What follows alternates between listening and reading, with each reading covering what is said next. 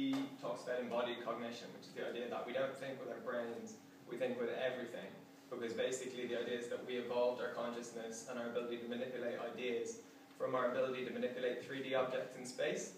So as we're like proto-monkeys going around a jungle on multiple layers, finding fruits and evading predators, the better we can manipulate 3D things in our mind, the better we fare, and ultimately that we can manipulate concepts, which means that all of our thinking is based on metaphor, and language becomes really, really important um, in terms of what we do.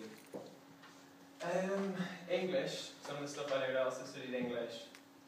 Postmodernism, something people may like or not like to talk about. But I learned about modernism, I thought it was really interesting. Postmodernism, I thought was really interesting. But it's kind of like, where do you end up with that? So this is some postmodernist architecture.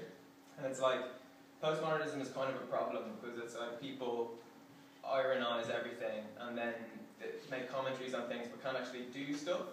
And I think that what comes after this, which I learned from my dissertation supervisor, I think is a total genius, and he plucked it from architecture apparently, was what came after this in architecture, is starting to come after it called the pragmatic vernacular, and it just means like, do what people want in the place that makes sense and looks good. and I'm like, you start doing that, rather than, you know, constantly referencing things and whatever, then I think we're in a good place, and I think that's what design thinking is starting to work towards. Um, some other stuff I used to read about, moral philosophy is a huge interest of mine, but I haven't actually like reached any conclusions on it exactly. but I think that like, I think there's some interesting tensions in it, and I definitely try and bring it in as background to stuff that I do. Well, I just kind of really like this. Thinking about it. The hedonic treadmill, you might have heard of it, you might not. Basically, something from psychology again. We think money will make us happy, so we go after money, but then it doesn't make us happy, but we can't really realise that, so we just keep going after more of it, and we end up like this rat on the wheel or whatever.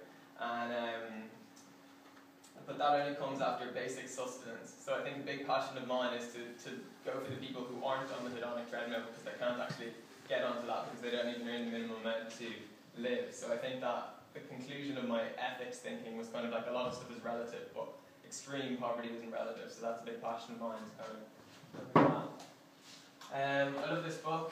I don't know if you've seen it. If you haven't seen it, do see it if you can. Um, visualizing data is really, really interesting. And I think that in a world where we are kind of manipulating people's choices all the time, presenting them with information is a great thing. And even though you're still going to be manipulating them in some ways, I think that this is a massive tool um, for helping, for empowering people, which is kind of what we should be doing. Um, some stuff I've done. So this is my friend Anna, and my, she was my partner.